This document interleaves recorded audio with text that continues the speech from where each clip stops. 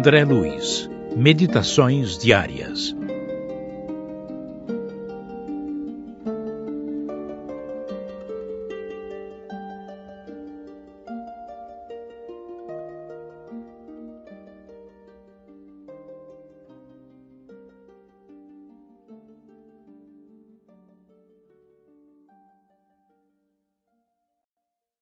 Sem desânimo. Se você deixou de trabalhar entrando em desânimo, examine o tráfego numa rua simples. Ônibus, automóveis, caminhões, ambulâncias e viaturas diversas passam em graus de velocidade diferente, cumprindo as tarefas que lhes foram assinaladas. Nenhum veículo segue sem objetivo e sem direção. Observe, porém, o carro parado fora da pista. Além de constituir uma tentação para malfeitores e um perigo no trânsito, é também um peso morto na economia geral, porquanto foge do bem que lhe cabe fazer. Entretanto, se o dono resolve recuperá-lo, aparecem de pronto motoristas abnegados que se empenham a socorrê-lo. Considera a lição e não gaste o seu tempo, acalentando enguiços na própria alma que farão de você um trambolho para os corações queridos que lhe partilham a marcha. Qual acontece ao veículo mais singelo, você pode perfeitamente auxiliar nos caminhos da vida. Arrancar um companheiro dessa ou daquela dificuldade. Carregar um doente. Transportar uma carta confortadora. Entregar um remédio ou distribuir alimento. Se você quiser realmente largar o cantinho da inércia, rogue amparo aos espíritos benevolentes e sábios que funcionam caridosamente na condição de mecânicos da providência divina, e eles colocarão você. Mas para que isso aconteça, é preciso, antes de tudo, que você pense em servir, dispondo-se a começar. Seguindo em frente. Seja qual seja o seu problema, Conserve fé em Deus e fé em você mesmo, sem desistir de trabalhar.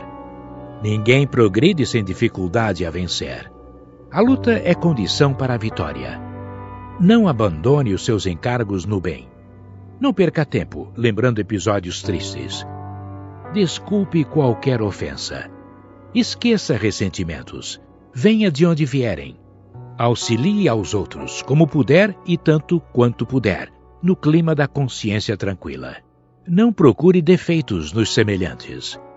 Se você está num momento considerado talvez como sendo o pior de sua vida, siga adiante com o seu trabalho, na certeza de que se hoje o céu aparece toldado de nuvens, a luz voltará no firmamento e o dia de amanhã será melhor. Sempre melhor. Em todos os caminhos da vida, encontrarás obstáculos a superar.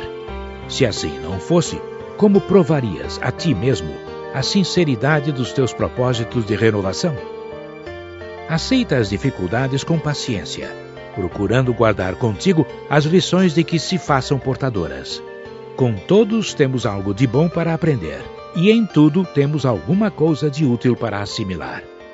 Nada acontece por acaso, e embora te pareça o contrário, até mesmo o mal permanece a serviço do bem.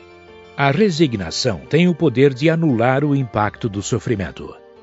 Se recebes críticas ou injúrias, não te aflijas pela resposta verbal aos teus adversários. Muitas vezes, os que nos acusam desejam apenas distrair-nos a atenção do trabalho a que nos dedicamos, fazendo-nos perder preciosos minutos em contendas estéreis. Centraliza-te no dever a cumprir, refletindo que toda semente exige tempo para germinar. Toda vitória se fundamenta na perseverança, e sem espírito de sacrifício, ninguém concretiza os seus ideais. Busca na oração coragem para superar os percalços exteriores da marcha, e humildemente para vencer os entraves do teu mundo interior.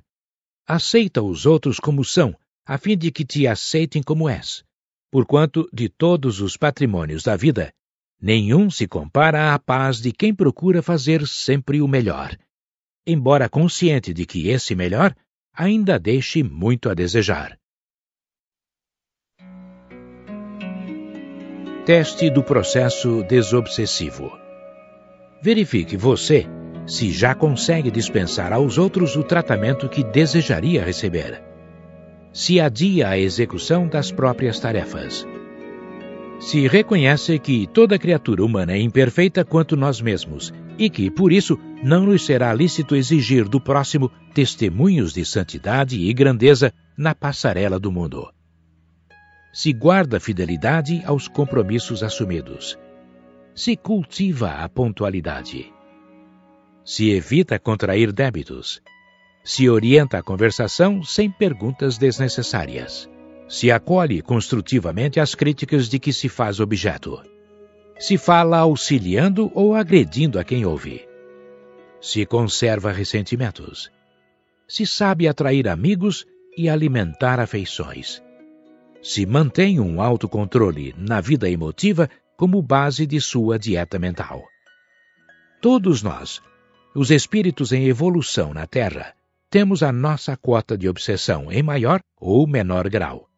E todos estamos trabalhando pela própria libertação. À vista disso, de quando a quando é sumamente importante que façamos um teste de nosso processo desobsessivo, a fim de que cada um de nós observe, em particular, como vai indo o seu. Saúde e equilíbrio. Para garantir a saúde e equilíbrio, prometa a você mesmo: 1. Um, Colocar-se sob os desígnios de Deus cada dia, através da oração e sustentar a consciência tranquila, preservando-se contra ideias de culpa. 2. Dar o melhor de si mesmo no que esteja fazendo. 3. Manter coração e mente, atitude e palavra atos e modos na inspiração constante do bem. 4. Servir desinteressadamente aos semelhantes, quando esteja ao alcance de suas forças. 5. Regozijar-se com a felicidade do próximo. 6. Esquecer conversações e opiniões de caráter negativo que haja lido ou escutado. 7 acrescentar pelo menos um pouco mais de alegria e esperança em toda pessoa com quem estiver em contato. 8. Admirar as qualidades nobres daqueles com quem conviva, estimulando-os a desenvolvê-las. 9. Olvidar motivos de queixa, sejam quais sejam. 10. Viver trabalhando e estudando, agindo e construindo de tal modo no próprio burilamento e na própria corrigenda, que não se veja capaz de encontrar as falhas prováveis e os erros possíveis dos outros. Verbos cristãos: esperar sem revolta, sentir sem maldade, conhecer sem desprezar, cooperar sem desajustar, melhorar sem exigir. Perseverar no melhor sem esmorecer, silenciar sem desajudar, servir sem escravizar-se, ensinar sem ferir, viver buscando a luz sem a aflição do fim, progredir constantemente sem deixar de ser simples. Chaves libertadoras. Desgosto. Qualquer contratempo aborrece no entanto, sem desgosto, a conquista de experiência é impraticável. Obstáculo. Todo empeço atrapalha. Sem obstáculo, porém, nenhum de nós consegue efetuar a superação das próprias deficiências. Decepção. Qualquer desilusão incomoda. Todavia, sem decepção, não chegamos a discernir o certo do errado. Enfermidade. Toda doença embaraça. Sem a enfermidade, entretanto, é muito difícil consolidar a preservação consciente da própria saúde. Tentação. Qualquer desafio conturba, mas sem tentação nunca se mede a própria resistência. Prejuízo. Todo golpe fere. Sem prejuízo, porém, é quase impossível construir segurança nas relações uns com os outros. Ingratidão Qualquer insulto à confiança estraga a vida espiritual.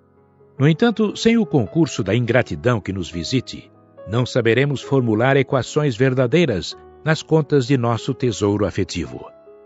Desencarnação. Toda morte traz dor. Sem a desencarnação, porém, não atingiríamos a renovação precisa, largando processos menos felizes de vivência ou livrando-nos da caducidade no terreno das formas. Compreendamos, à face disso, que não podemos louvar as dificuldades que nos rodeiem, mas é imperioso reconhecer que sem elas eternizaríamos paixões, enganos, desequilíbrios e desacertos, motivo pelo qual será justo interpretá-las por chaves libertadoras que funcionam em nosso espírito a fim de que nosso espírito se mude para o que deve ser, mudando em si e fora de si tudo aquilo que lhe compete mudar.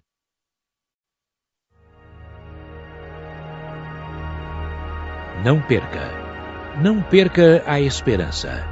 Há milhões de pessoas aguardando os recursos de que você já dispõe. Não perca o bom humor.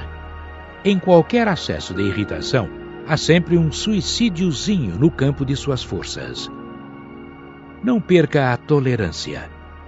É muita gente a tolerar você naquilo que você ainda tem de indesejável. Não perca a serenidade. O problema pode não ser assim tão difícil quanto você pensa. Não perca a humildade. Além da planície surge a montanha, e depois da montanha aparece o horizonte infinito. Não perca o estudo. A própria morte é lição. Não perca a oportunidade de servir aos semelhantes. Hoje e amanhã você precisará de concurso alheio. Não perca tempo. Os dias voltam, mas os minutos são outros. Não perca a paciência. Recorde a paciência inesgotável de Deus. Momento de luz. Se você está feliz, ore sempre, rogando ao Senhor para que o equilíbrio esteja em seus passos. Se você sofre, ore para que não lhe falte compreensão e paciência. Se você está no caminho certo, ore para que não se desvie. Se você está de espírito marginalizado, sob o risco de queda em despenhadeiros ou perigosos declives, ore para que o seu raciocínio retome a senda justa. Se você está doente, ore a fim de que a saúde possível lhe seja restituída. Se você tem o corpo robusto, ore para que as suas forças não se percam. Se você está trabalhando, ore pedindo a Deus que lhe conserve a existência no privilégio de servir. Se você permanece ausente da atividade, ore solicitando aos mensageiros do Senhor lhe auxiliem a encontrar ou reencontrar a felicidade da ação para o bem. Se você já aprendeu a perdoar as ofensas, ore para que prossiga cultivando semelhante atitude. Se você reprova ou condena alguém, Ore, rogando à divina providência, lhe ajude a entender o que faríamos nós se estivéssemos no lugar de quem caiu ou de quem errou, de modo a aprendermos discernimento e tolerância. Se você possui conhecimentos superiores, ore para que não lhe falte a disposição de trabalhar, a fim de transmiti-los a outrem, sem qualquer ideia de superioridade, reconhecendo que a luz de sua inteligência vem de Deus, que nola concede para que venhamos a fazer o melhor de nosso tempo e de nossa vida, entregando-nos, porém, à responsabilidade de nossos próprios atos. Se você ainda ignora as verdades da vida, ore para que o seu espírito consiga assimilar as lições que o mais alto lhe envia. Ore sempre. A oração é o momento de luz nas obscuridades e provas do caminho de aperfeiçoamento em que ainda nos achamos, para o nosso encontro íntimo com o amparo de Deus. Pensamento e desobsessão. Falamos de pensamento livre. Analise o corpo de que você se serve no plano material. Do ponto de vista de autocontrole, é uma cabine perfeita com dispositivos especiais destinados à sua própria defesa.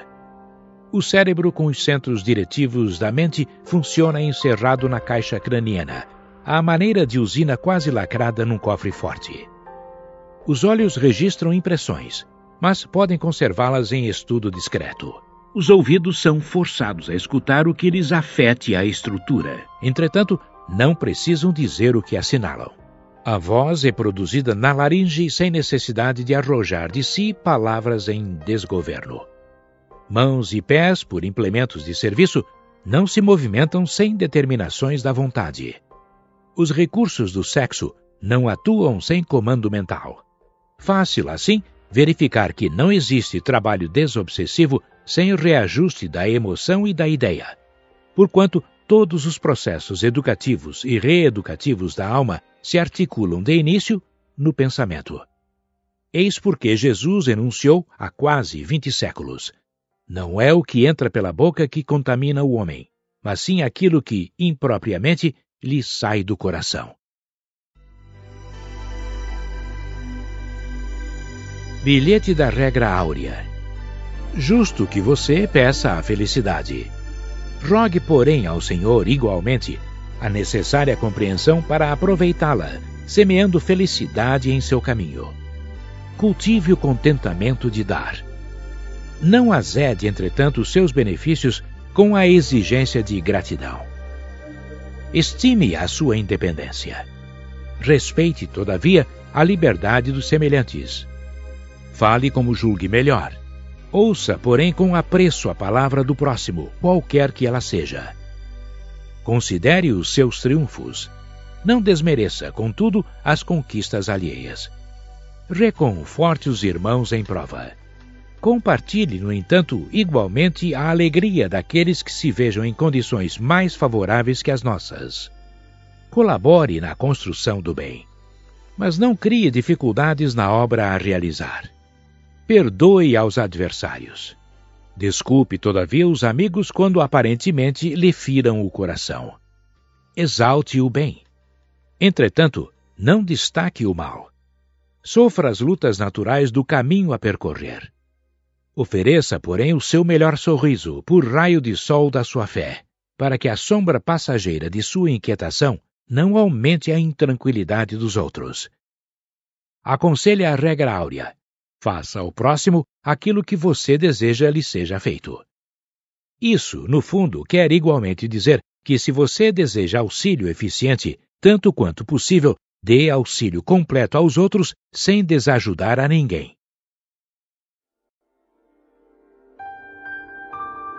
Lembranças de paz. Reconhecer, mas reconhecer mesmo, que trabalhando e servindo estamos, acima de tudo, cooperando em favor de nós próprios. Perseverança no trabalho de execução dos compromissos que assumimos significa 90 por 100 na soma do êxito. Não desestimar a importância e o valor de pessoa alguma. Nos instantes de crise, usar o silêncio ao invés do azedume. Zangar-se alguém será sempre dilapidar a própria tarefa. Perdão para as faltas alheias é a melhor forma de alcançar a desculpa dos outros em nossos próprios erros. Observar o sinal vermelho para o mal no trânsito das palavras. Um gesto de simpatia ou gentileza pode ser a chave para a solução de muitos problemas. Perfeitamente possível administrar a verdade sem ferir, desde que esteja no bálsamo da bondade ou no veículo da esperança. Nunca nos esquecermos de que a paciência favorece o socorro de Deus.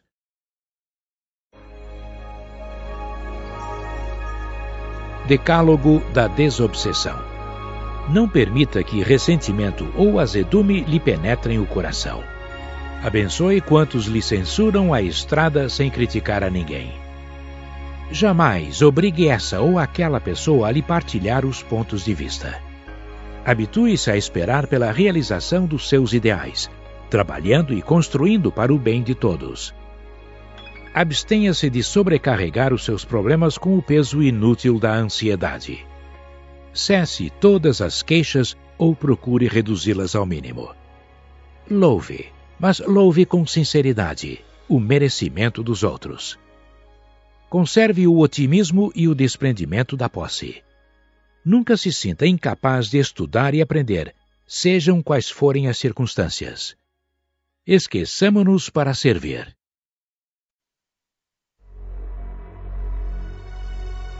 Auxilia também. O cérebro trabalha para que raciocines. O coração trabalha para que te sustentes. O sangue trabalha para que te equilibres. Os nervos trabalham para que observes. As glândulas trabalham para que te controles. Os pulmões trabalham para que respires. Os ossos trabalham para que te levantes. Os cabelos trabalham para que te protejas. O estômago trabalha para que te nutras. Os olhos trabalham para que vejas. Os ouvidos trabalham para que ouças. A língua trabalha para que te exprimas. As mãos trabalham para que construas. Os pés trabalham para que te movas. Entre as forças que trabalham no teu próprio corpo para servir-te, que fazes de ti mesmo para servir aos outros. Ante a lei do Senhor, o ato de servir é luz em toda a parte. E essa lei pede em tudo: ajuda agora alguém. Assim, quem nada faz, em nada se detém. Recorda que a preguiça é o retrato da morte. Toda a vida auxilia. Auxilia também.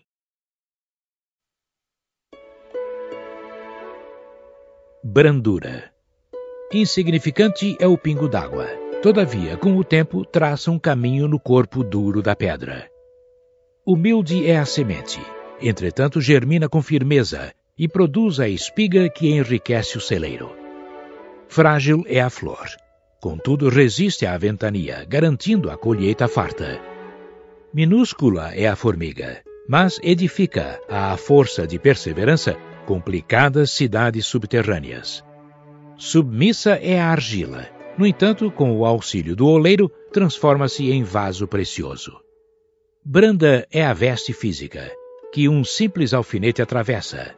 Todavia suporta vicissitudes incontáveis e sustenta o templo do espírito em aprendizado, por dezenas de lustros, repletos de necessidades e padecimentos morais. O verdadeiro progresso prescinde da violência. Tudo é serenidade e sequência na evolução.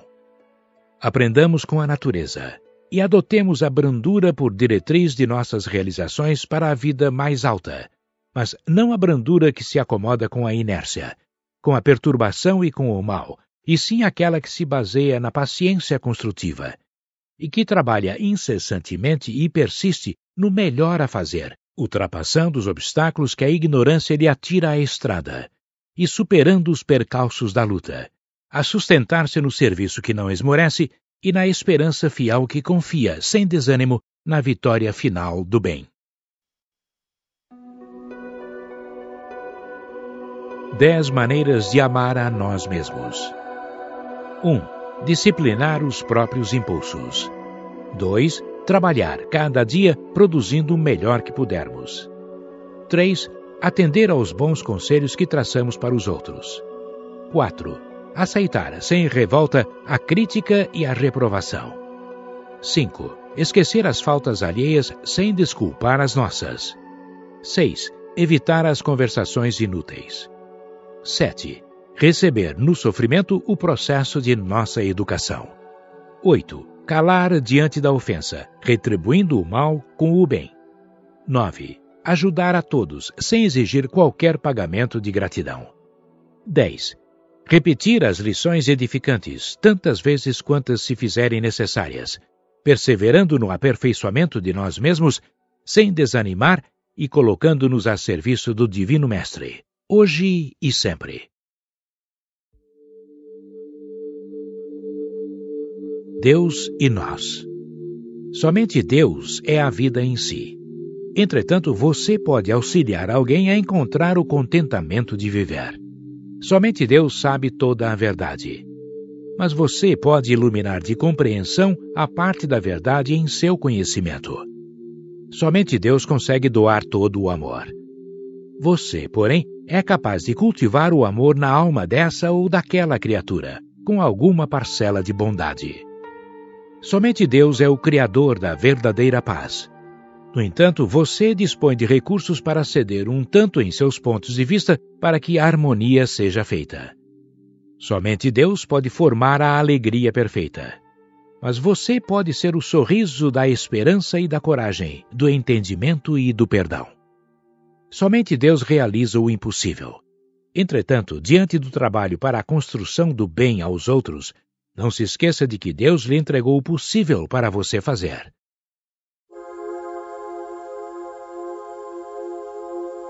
Preceitos de paz e alegria. Considerar quem surge, seja quem seja, por pessoa a quem devemos acatamento e serviço. Para caminhar, a cabeça mais sábia não prescinde dos pés. Nada julgar através de aparências. Cada um de nós traz uma região indevassável nos recessos do espírito, onde unicamente a sabedoria de Deus pode, com segurança, conhecer os nossos intentos e avaliar o porquê das nossas decisões.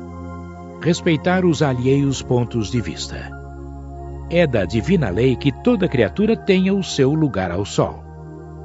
Evitar reações negativas. Os outros esperam de nós a simpatia e a bondade que aguardamos de todos eles. Construir o nosso caminho particular para ir ao encontro dos semelhantes, a fim de ajudá-los de alguma forma somos compreensivelmente gratos ao carinho espontâneo e discreto de alguém que se dispõe a entender-nos e auxiliar-nos. Abster-se de cultivar ou causar qualquer ressentimento. Reflitamos na lição silenciosa do céu, rechaçando pacientemente cada manhã a influência da sombra. Aproveitar o benefício do sofrimento.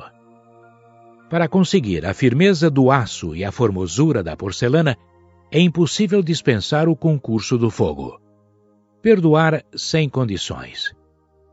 Em matéria de fraquezas, nenhum de nós pode medir a própria resistência, entendendo-se que Deus nos confere ampla liberdade na experiência, infundindo-nos, ao mesmo tempo, a luz da tolerância, como princípio inalienável em nosso processo de autoaperfeiçoamento e educação.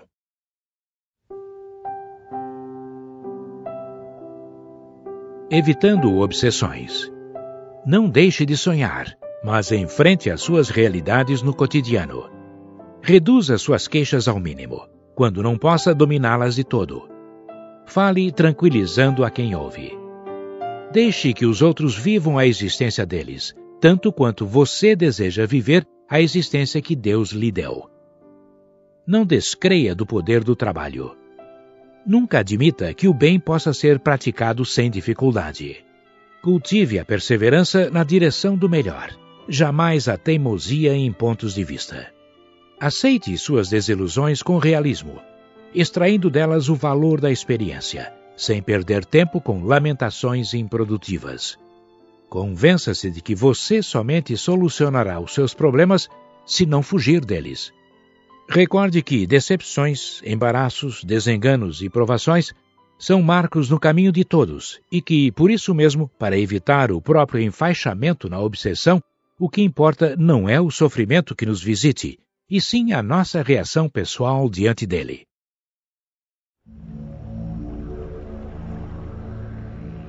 Sinceramente, se você efetivamente deseja cooperar com Jesus, nada conseguirá arredá-lo do propósito de servir. Mesmo sob circunstâncias adversas, saberá encontrar recursos para que o bem se manifeste através de suas mãos. Ao invés de inspirar nele desânimo, os percalços naturais do caminho ser-lhes-ão apelos à perseverança e convites ao devotamento. Não perderá tempo reclamando situações de privilégio ou esperando condições mais favoráveis ao cumprimento do dever por mais insignificante que considere a sua tarefa, procurará desempenhá-la com a responsabilidade daqueles aos quais a vida já confiou em cargos maiores.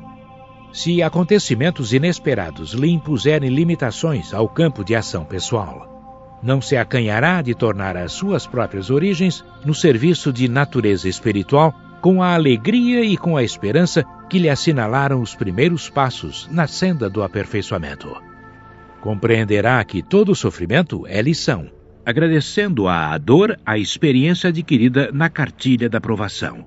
Preferirá ser desagradado pelos que ainda não conseguem aceitá-lo como é, do que desagradar a consciência que lhe ensina a ser melhor a cada dia que passa. Na companhia de amigos ou solitário, seguirá adiante sem se deixar absorver exclusivamente pelos compromissos de ordem material, lutando a todo custo pela emancipação íntima, reconhecendo que toda construção sólida no reino do Espírito se alicerça no sacrifício.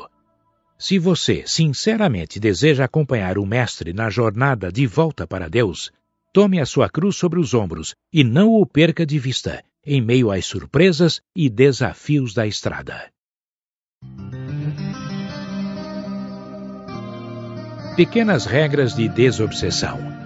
Procure mais do que saber, dominar-se. Mais do que agir, elevar. Mais do que estudar, aprender. Mais do que pensar, discernir. Mais do que falar, educar. Mais do que aconselhar, servir. Mais do que escutar, compreender.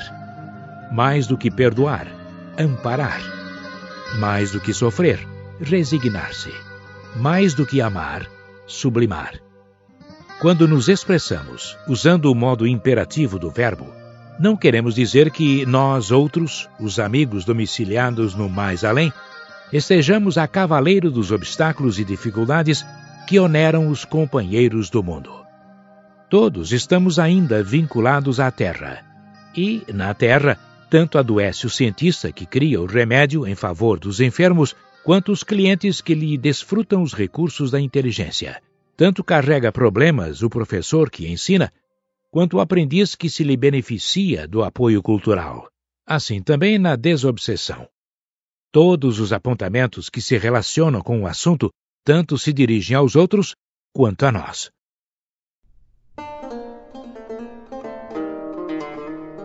Rogativa do servo: Senhor, dá-nos a força, mas não nos deixes humilhar os mais fracos dá-nos a luz da inteligência.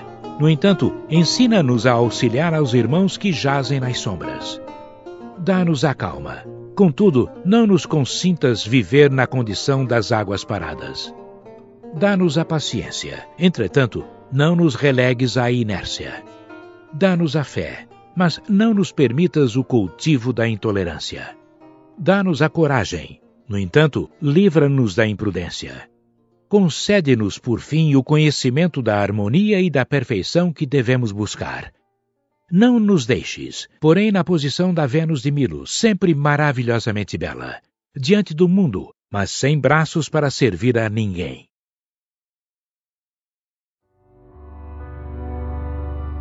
Dez sugestões. Dez sugestões para meditar antes da crítica. Primeira, colocar-nos no lugar da pessoa acusada, pesquisando no íntimo quais seriam as nossas reações nas mesmas circunstâncias. Segunda, perguntar a nós mesmos o que já fizemos em favor da criatura em dificuldade para que ela não descesse de nível. Terceira, reconhecer o grau de responsabilidade que nos comete no assunto em pauta. Quarta, observar o lado bom do irmão ou da irmã em lide a fim de concluir se não temos mais razões para agradecer e louvar do que para aborrecer ou reprovar. Quinta, recorrer à memória e lembrar com sinceridade se já conseguimos vencer qualquer grande crise moral da existência sem o auxílio de alguém. Sexta, verificar em sã consciência se temos efetivamente certeza da falta pela qual são apontados o companheiro ou a companheira em torno de quem somos convidados a emitir opinião. Sétima, deduzir pelo estudo de nós próprios se possuímos suficientes recursos para corrigir sem ofender. Oitava, examinar até que ponto a criatura acusada terá agido exclusivamente por si ou sob controle e domínio de obsessores sejam eles encarnados ou desencarnados, com interesse na perturbação do ambiente em que vivemos. Nona. Refletir na maneira pela qual estimamos ser tratados por nossos amigos quando entramos em erro. Décima. Orar pelos nossos irmãos menos felizes e por nós mesmos, antes de criticar-lhes quaisquer manifestações. Quando quando compreendermos que vingança, ódio, desespero, inveja ou ciúme são doenças claramente ajustáveis à patologia da mente, requisitando o amor e não revide. Quando interpretarmos nossos irmãos delinquentes por enfermos da alma, solicitando segregação para tratamento e reeducação, e não censura ou castigo. quando observarmos na caridade simples dever, quando nos aceitarmos na condição de espíritos em evolução, ainda portadores de múltiplas deficiências, e que, por isso mesmo, o erro do próximo poderia ser debitado à conta de nossas próprias fraquezas. Quando percebermos que os nossos problemas e as nossas dores não são maiores que os de nossos vizinhos. Quando nos certificarmos de que a fogueira do mal deve ser extinta na fonte permanente do bem. Quando nos capacitarmos de que a prática incessante do serviço aos outros é o dissolvente infalível de todas as nossas mágoas. Quando nos submetermos à lei do trabalho, dando de nós sem pensar em nós, no que tange a facilidades imediatas. Quando abraçarmos a tarefa da paz, buscando apagar o incêndio da irritação ou da cólera com a bênção do socorro fraternal e abstendo-nos de usar o querosene da discórdia.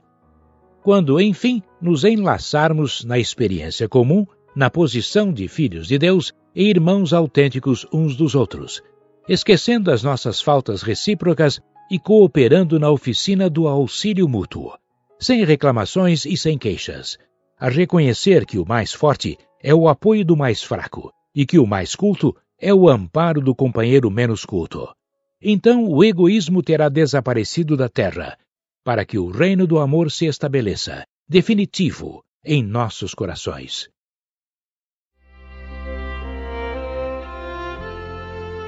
Pense nisso.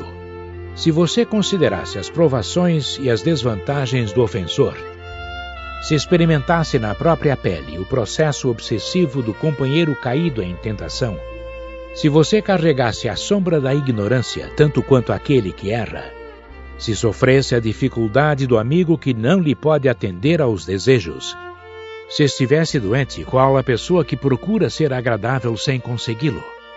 Se você fosse uma das criaturas cuja segurança depende do seu bom humor, se conhecesse todas as necessidades de quem precisa da sua cooperação, se percebesse em si mesmo o esgotamento daquele que serviu até o extremo cansaço e agora já não lhe pode ser útil, se meditasse nas consequências de sua irritação ou de sua cólera, se você refletisse na caridade da paz e da alegria em favor dos outros, que lhe capitalizará cada vez mais a própria felicidade, certamente que você nunca perderia a paciência e saberia trazer no coração e nos lábios a boa palavra e o sorriso fraterno por bênçãos incessantes de Deus.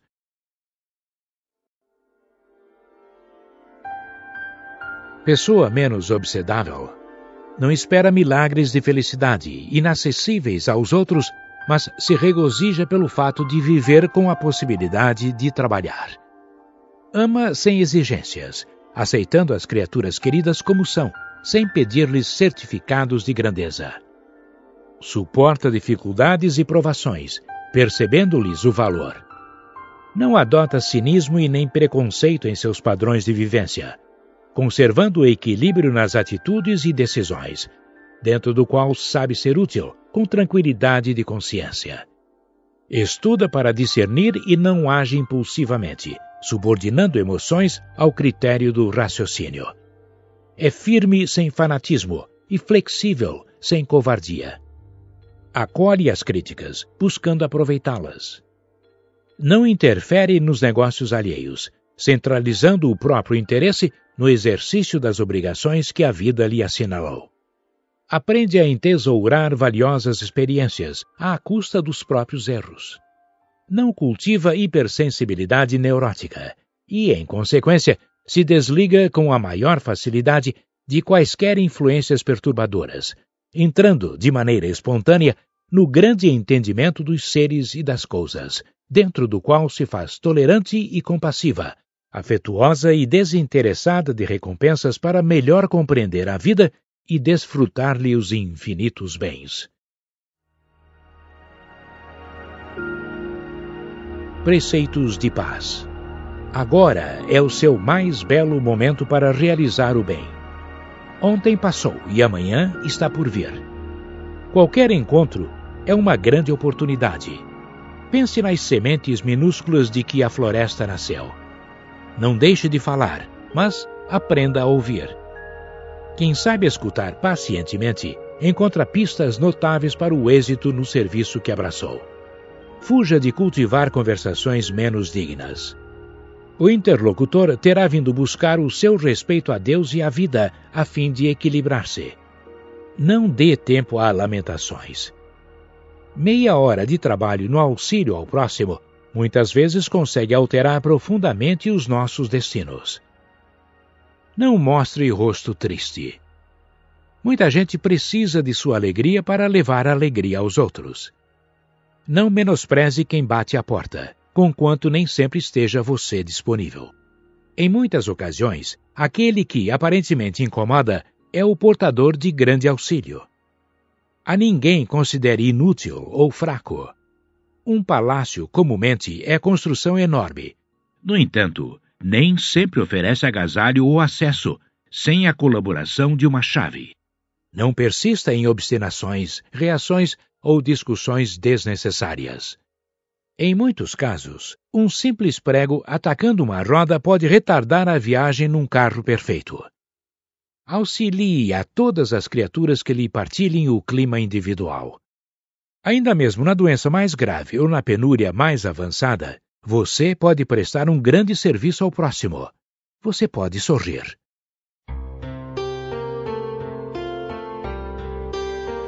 Petição de servidor. Senhor Jesus, quando me chames a doar algo do que tenha ou do que eu seja, se não puder oferecer o muito que devo, auxilia-me a entregar o pouco do que disponha. Se eu não tiver essa ou aquela migalha de recursos materiais em favor dos companheiros em penúria, concede-me forças para dedicar-lhes algum momento de trabalho, sem qualquer ideia de recompensa. Entretanto, Senhor, se o tempo vier a faltar-me para isso, ajuda-me a falar, no apoio aos irmãos que sofrem, a boa palavra que indique a senda do bem. Se isso ainda não me for possível, guarda-me o silêncio na prece endereçada ao teu infinito amor a rogar-te intercessão e socorro, porque, através da prece, enviar-nos-ás a alguém que me substitua e que fará pelos outros muito mais e melhor. Mediunidade e você. Intuição. Exerça a faculdade da percepção clara e imediata. Mas, para ampliar-lhe a área de ação, procure alimentar bons pensamentos de maneira constante. Clarividência. Agradeça a possibilidade de ver no plano espiritual. No entanto, no esforço do dia a dia, detenha-se no lado bom das situações e das pessoas, para que os seus recursos não se comprometam com o mal. Clareaudiência. Regozije-se por escutar os desencarnados. Todavia, aprenda a ouvir no cotidiano para construir a felicidade do próximo, defendendo-se contra a queda nas armadilhas da sombra psicofonia. Empreste suas forças para que os espíritos falem com os homens. Contudo, na experiência comum, selecione palavras e maneiras a fim de que o seu verbo não se faça veículo para a influência das trevas. Psicografia. Escreva com as entidades domiciliadas fora do mundo físico, mas habitue-se a escrever em benefício da paz e da edificação dos semelhantes, impedindo que a sua própria inteligência se faça canal de perturbação. Materialização. Dê corpo às formações do plano extrafísico. Entretanto, acima de tudo, concretize as boas obras. Curas. Aplique passes e outros processos curativos em favor dos enfermos. No entanto, conserve as suas mãos na execução dos deveres e tarefas que o Senhor lhe confiou. Transportes colabore com seus recursos psíquicos no trazimento de objetos sem toque humano. Mas carregue a caridade consigo para que ela funcione onde você estiver. Premonição. Rejubile-se com a responsabilidade de prever acontecimentos. Todavia, busque sentir, pensar e realizar o melhor ao seu alcance, na movimentação de cada dia, para que a sua conversa não se transforme em trombeta de pessimismo e destruição. Mediunidade em geral. Qualquer mediunidade serve a fim de cooperar no parque de fenômenos para demonstrações da existência do espírito. Mas não se esqueça de que a condução dos valores mediúnicos, para o bem ou para o mal, é assunto que está em você, e depende de você em qualquer circunstância e em qualquer lugar. Autodesobsessão Se você já pode dominar a intemperança mental, se esquece os próprios constrangimentos a fim de cultivar o prazer de servir, se sabe escutar o comentário infeliz sem passá-lo adiante, se vence a indisposição contra o estudo e continua, tanto quanto possível, em contato com a leitura construtiva, se ouvida mágoas sinceramente, mantendo um espírito compreensivo e cordial à frente dos ofensores, se você se aceita como é, com as dificuldades e conflitos que tem, trabalhando alegremente com tudo aquilo que não pode modificar, se persevera na execução dos seus propósitos enobrecedores, apesar de tudo que se faça ou fale contra você. Se compreende que os outros têm o direito de experimentar o tipo de felicidade a que se inclinem, como nos acontece. Se crê e pratica o princípio de que somente auxiliando o próximo é que seremos auxiliados. Se é capaz de sofrer e lutar na seara do bem, sem trazer o coração amargoso e intolerante, então você estará dando passos largos para libertar-se da sombra, entrando em definitivo no trabalho da autodesobsessão.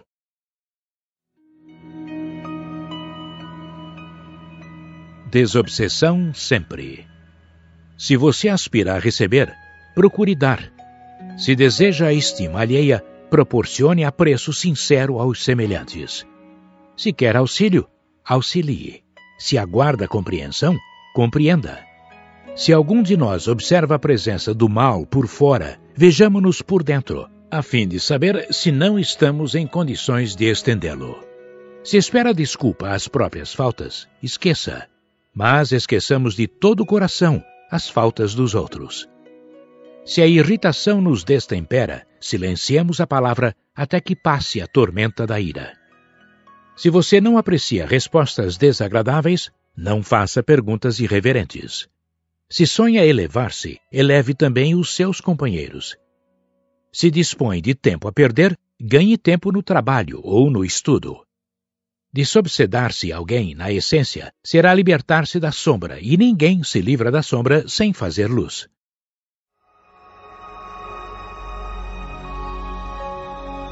Não julgues teu irmão. Amigo, examina o trabalho que desempenhas. Analisa a própria conduta. Observa os atos que te definem. Vigia as palavras que proferes. Aprimora os pensamentos que emites. Pondera as responsabilidades que recebeste. Aperfeiçoa os próprios sentimentos. Relaciona as faltas em que, porventura, incorreste. Arrola os pontos fracos da própria personalidade inventaria os débitos em que te inseriste. Sê o investigador de ti mesmo, o defensor do próprio coração, o guarda da tua mente. Mas se não detens contigo a função do juiz, chamado à cura das chagas sociais, não julgues o irmão do caminho, porque não existem dois problemas absolutamente iguais, e cada espírito possui um campo de manifestações particulares. Cada criatura tem o seu drama, a sua aflição, a sua dificuldade e a sua dor. Antes de julgar, busca entender o próximo e compadece-te, para que a tua palavra seja uma luz de fraternidade no incentivo do bem. E, acima de tudo, lembra-te de que amanhã outros olhos pousarão sobre ti, assim como agora a tua visão se demora sobre os outros. Então serás julgado pelos teus julgamentos e medido segundo as medidas que aplicas aos que te seguem.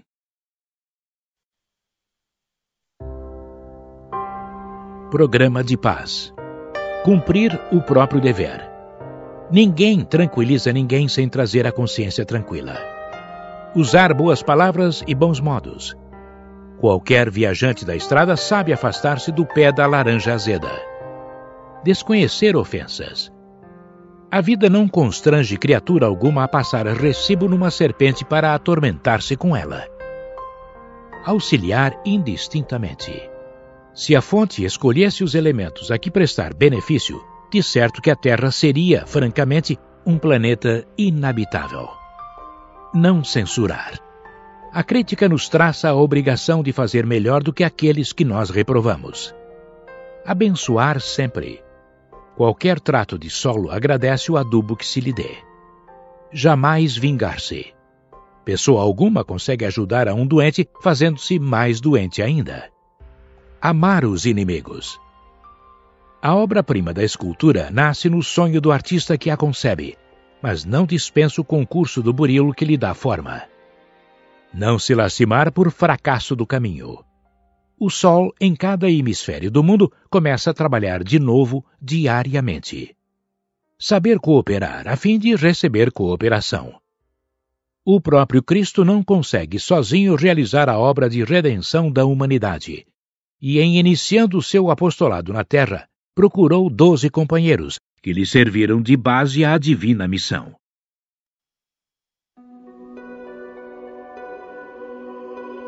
Terapêutica desobsessiva. Você pode ter cometido muitos desatinos e viver agora em aflitiva atmosfera de culpa. Achar-se doente. Haver passado por terríveis desenganos. Estar respirando no clima de prejuízos e fracassos. Carregar conflitos interiores. Anotar-se sob nuvens de tentações e desafios.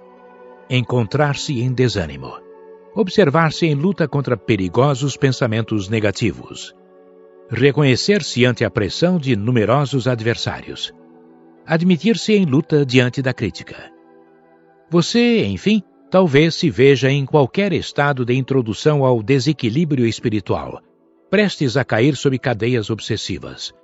Mas se você realmente deseja livrar-se disso, deve compreender, antes de tudo, que precisa de esclarecimento e de amparo. Entretanto, para que você obtenha luz e auxílio, é indispensável adotar duas atitudes fundamentais: estudar e raciocinar, a fim de se instruir. Trabalhar e servir para merecer.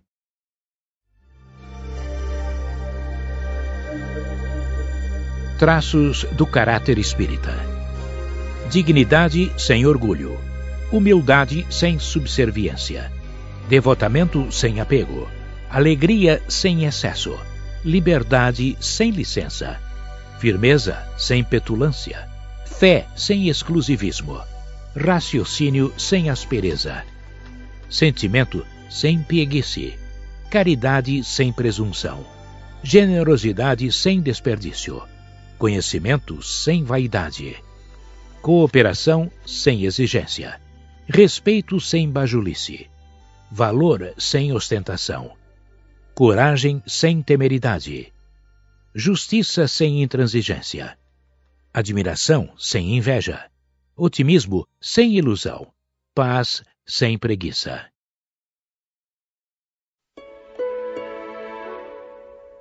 Acende a luz. Ao longo do caminho em que jornadeias para adiante, encontrarás a treva a cercar-te em todos os flancos. Trevas da ignorância em forma de incompreensão, nevoeiro de ódio em forma de desespero, neblinas de impaciência em forma de lágrimas e sombras de loucura em forma de tentações sinistras. Acende, porém, a luz da oração e caminha. A prece é claridade que te auxiliará a ver a amargura das vítimas do mal, as feridas dos que te ofendem sem perceber, as mágoas dos que te perseguem e a infelicidade dos que te caluniam. Ora e segue adiante. O horizonte é sempre mais nobre e a estrada sempre mais sublime, desde que a oração permaneça em tua alma em forma de confiança e de luz.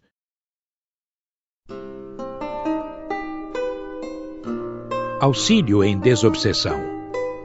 A desobsessão em si nasce originariamente da palavra esclarecedora, através do estudo, mas em muitos casos, na lei das provas necessárias, possuímos instrumentos vários de auxílio a ela, tais quais sejam afeições contrariadas, recursos de frenagem, sustando a queda em dramas passionais de resultados imprevisíveis, desgostos domésticos, válvulas de contenção, impedindo a reincidência em falhas morais.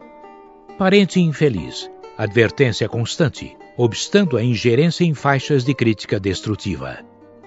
Filho problema, socorro da providência divina, trazendo para dentro de casa o credor de existências passadas, que incomodaria muito mais se estivesse por fora. Doença irreversível. Dreno para o escoamento gradativo dos agentes mórbidos, ainda suscetíveis de ligar a criatura com as inteligências enquistadas na criminalidade. Moléstias comuns. Desligamento de tomadas mentais, capazes de estabelecer conexão com o enredo sutil das trevas. Frustração orgânica apoio de base contra o mergulho em experiências menos felizes. Decepção, choque reparador da lucidez espiritual. Idiotia, longa pausa do espírito, diligenciando realizar o próprio reajustamento ante a vida superior. A reencarnação é sempre evolução, recapitulação, ensino, aprendizado e reaprendizado, e tudo isso custa esforço, obstáculo, suor, Entretanto, em muitas circunstâncias, é trabalho expiatório, regeneração ou processo curativo. Por isso mesmo, para as criaturas que se encontram em resgate nos domínios da culpa, a área terrestre em que se encontram pode ser considerada como sendo região hospitalar, e o corpo físico é interpretado por cela de tratamento com a equipe doméstica, seja na consanguinidade ou nos contatos de serviço, mantendo a terapia de grupo. Amemos, estudemos, sirvamos, perdoemos e auxiliemos aos outros, e a desobsessão será sempre a nossa precisa libertação por bendita luz a brilhar no caminho.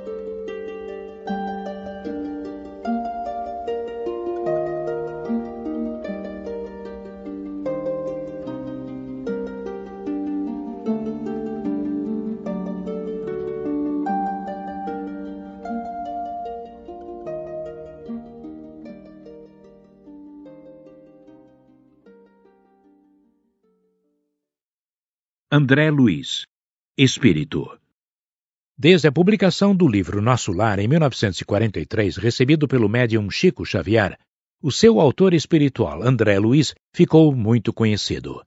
Foi o primeiro de uma série de 13 livros que descortina amplamente, num agradável estilo romanceado, a vida no plano espiritual. Tais obras trouxeram tantas informações novas do além que têm sido consideradas judiciosamente como verdadeira revelação dentro da terceira revelação.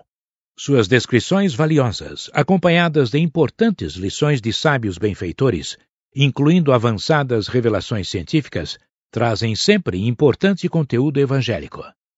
Mas, além dessa portentosa obra, André Luiz também enriqueceu a literatura espírita com outras 15 obras, redigindo páginas muito bem elaboradas e de elevado conteúdo doutrinário, sendo seis em parceria com Emmanuel, uma com Lúcius, Cidade no Além, e as demais de autores diversos. Desde seu primeiro livro, O Prefaciador, Emmanuel esclareceu-nos que, embalde os companheiros encarnados procurariam o médico André Luiz nos catálogos da Convenção. Por vezes, o anonimato é filho do legítimo entendimento e do verdadeiro amor.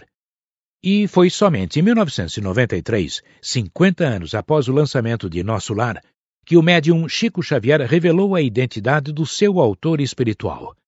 Trata-se do notável cientista brasileiro Dr. Carlos Chagas, de 1879 a 1934, descobridor de uma grave enfermidade endêmica que, em sua homenagem, recebeu o nome de Doença de Chagas. Anuário Espírita 2004